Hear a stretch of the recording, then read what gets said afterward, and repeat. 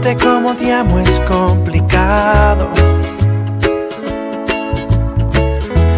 Pensar cómo te pienso es un pecado.